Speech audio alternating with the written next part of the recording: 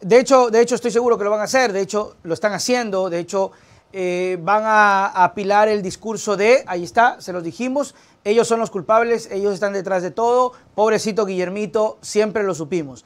Eso es, eso dalo, dalo por hecho, decía el, eh, dalo.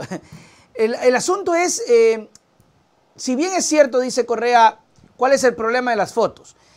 Pero tú dices algo claro, Mauro, hay que investigar, porque de estar en una fotografía, de compartir con alguien en una reunión, a verificar que haya tenido vínculos o que tenga algún tipo de negocios, eso es otra cosa.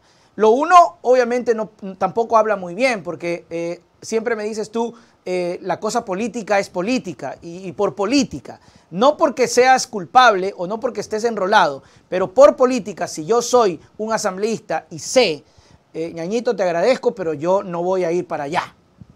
Exactamente. Eh, creo que tú acabas de dar en el clavo. Si tú sabes que esa persona está involucrado en actos ilícitos, está procesado penalmente por la justicia de tu país, yo creo que si es que ocupas un cargo de representación popular, no vas a cometer el absurdo por no llamarle la torpeza de ir a meterte en la casa de ese individuo o en la casa de sus amigos, en una piscina con ese individuo que está procesado penalmente. O sea, yo creo que ahí sí hay que ser tajantes, no se puede tapar el sol con un dedo, es un error monumental, no estoy diciendo que sea culpable, claro, ya, claro. que tenga algún tipo de responsabilidad, eso se tendrá que investigar, porque muchas cosas se han dicho, eso tiene que investigar la justicia, pero desde lo político me parece un error monumental, más grande que la Asamblea Nacional. O sea, ahí sí no hay, no hay vueltas que darle. Y reitero, lo que llama poderosamente la atención es el silencio. Yo creo uh -huh. que cuando uno tiene la convicción de que no ha hecho nada malo, tiene que salir inmediatamente a rechazar cualquier tipo de perversa insinuación.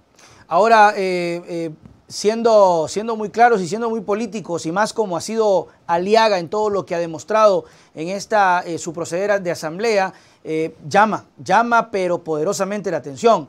Aliaga no es un asambleísta de bajo perfil. Aliaga Así no es. es. un asambleísta de los que se ha quedado callado cuando pasa algo. Aliaga ha es de tenido los que, mucho protagonismo. Bastante. Entonces, eh, el silencio lo único que hace es, ahora, podría creerse que como hoy fue la reunión que han tenido con el Comité de Ética, eh, se, esté, se esté fraguando el tema de la, de la respuesta.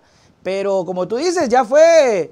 Eh, vea, tuvo que enterarse el, el expresidente, tuvo que alguien decirle, oiga, Presi, la plena que esta nota es así, porque Correa lo defendió, pues. Correa dijo, a ver, ¿cuál es el problema? Y después le dijeron, oye, no, que chutica, es que no me dices, compañerito. Y te voy a decir la plena que a mí también se me pasó por alto el nombre de este pana, sinceramente, con tanta vaina, y resulta que fue procesado con el tema de Salcedo. Sí, sí, sí. Mira, eh, en política hay algo que se denomina el principio de oportunidad, y uno tiene que ser oportuno para responder y para hablar. Si pasa mucho tiempo, si tú te duermes en los laureles, lo que va a suceder, incluso aunque tú seas inocente, aunque no tengas ningún tipo de responsabilidad, ¿sabes qué es lo que va a pasar? Uh -huh. Que si tú dejas que eso madure demasiado y que se, que se amplifique y tú no respondas, tú vas a permitir que permee en el imaginario de la gente un marco mental, que aunque no sea cierto, la gente ya va a decir, sí, verdad ha de ser, que por eso no dice nada, que por eso no salió ah, pronto. Ah. Entonces, créeme que me parece un error tremendo no salir a responder hasta el día de hoy y da muchísimo que pensar, da muchísimo que pensar. Bueno, esperemos en todo caso a ver qué ocurre con el tema. Creo que eh, esto forma parte igual de lo que ocurre en la Asamblea Nacional, no es, no, está, no es un hecho aislado, es un asambleísta, como siempre hemos dicho, bastante protagónico y es importante que esto se sepa. Mauro, el tiempo siempre es ingrato, tus palabras para despedirnos. Decirte, Nelson, sobre esta última parte que agradezco que me hayas preguntado sobre este tema eh, y eso demuestra primero tu, eh, trabajo profesional, ético, porque más allá de que podamos tener eh, cierta visión o corriente ideológica de pensamiento, lo que tú acabas de hacer y lo que acabamos de mencionar refleja que aquí abordamos y hablamos sobre los distintos temas que involucran la coyuntura política del país. Y eso es muy importante, es muy importante. Así que eh, eh, bienvenido sea. Finalmente, pues decirles a nuestros amigos y amigas que me sigan, como siempre digo, en mis cuentas de redes sociales, en Twitter, arroba Mauro E, en mi cuenta de Instagram como Mauro Cabezón Andino, en TikTok también, y en mi página de Facebook como Mauro Andino Espinosa. Así que bueno, pues si la vida nos permite, nos volveremos a ver el próximo jueves, mi querido Nelson. Abrazo enorme para ti y para todos quienes nos han mirado y escuchado esta noche. Abrazo grande. espera y aprovechamos la oportunidad también para hacer el llamado a Ronnie, si de pronto quiere, está aquí las puertas abiertas para que hable, para preguntarle, porque creo que es lo más importante. Y como decías, siempre se tratará, eh, se hablará, porque es parte de lo que de lo que, de lo que ocurre. Yo he mantenido siempre mis, mis reservas cuando se trata de cosas que me parecen que no vienen al caso, pero cuando ya se desborda, ya no, hay, no hay cómo, no hay cómo. Mauro, muchísimas gracias. Nos vemos el próximo jueves. Abrazo enorme. Chao, chao. chao. Muy bien, mis queridos amigos, ahí está, ahí estuvo. ahí está, ahí estuvo. Eh, Mauro Andino hablando sobre muchas cosas, coyuntura. Eh, creo que es interesante lo que habíamos, lo que hemos abordado.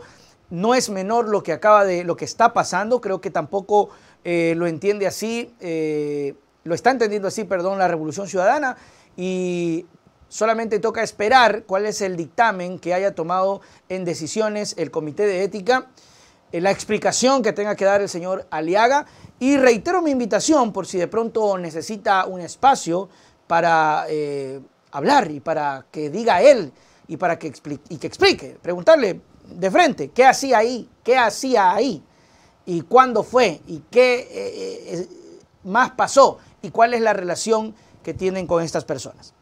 Insisto, mis queridos amigos, no es que el señor Aliaga está siendo eh, culpado porque se le encontró en la casa fajos de billete, de esto, de droga, que no sé qué, el contrato de sobreprecio. No, eh, eh, al señor Aliaga no se le está acusando de absolutamente nada. Se le está cuestionando un comportamiento que no es aceptable para un asambleísta se lo ha hecho con todos y creo que no puede ser la excepción.